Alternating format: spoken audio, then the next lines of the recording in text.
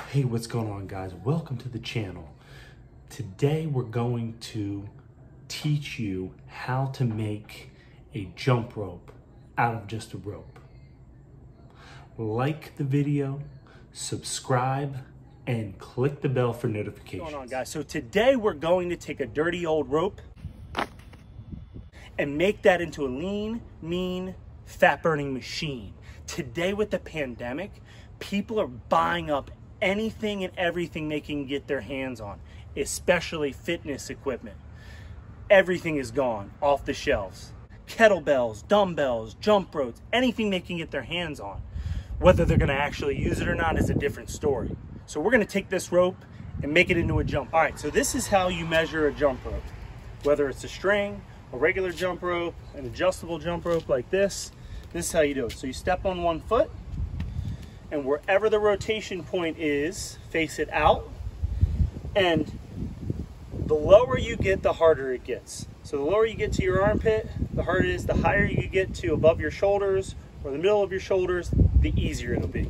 So this one is, I'd say about average, maybe on the hard side. What we're gonna do with the jump, or what we're gonna do with the rope is, we're gonna take the rotation point and point it out, step on it. Now, with a rope, especially a free rope. You only got one time, one chance. Measure twice, cut once.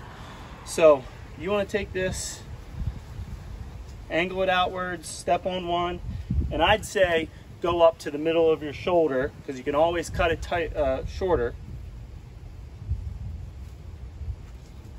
Step on it, middle of your shoulder. Let's see a little bit harder with a with this rope. So you want to take it, make sure that the rotation point is out. So this is going to be the rotation point. And you want to be here. Mark this spot, and I'll show you what you do next. So you want to take your spot, and you want to tape on both sides of it. For now, we're just going to do a single layer of tape. We're not going to tape out the handles or anything like that. So here, nice and tight. You don't want it to unwrap. And then you want to tape on the other side as well.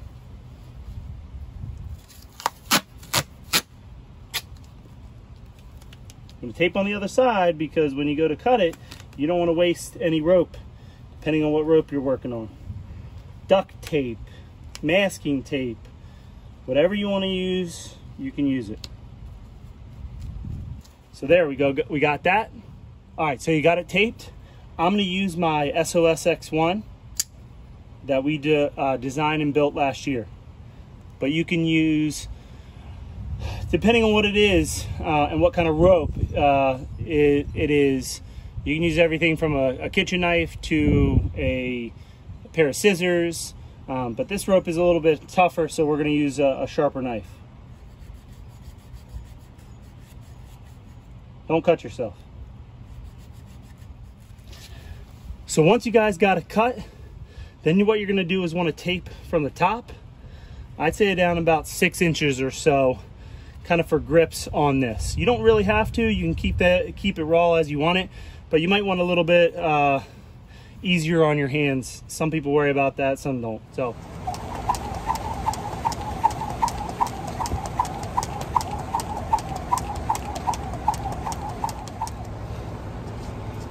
you can make a jump rope with anything.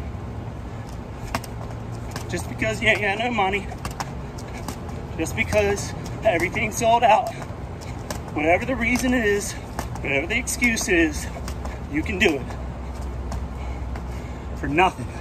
Tape that you probably already have, a rope that you already have, you can do it. Let's go.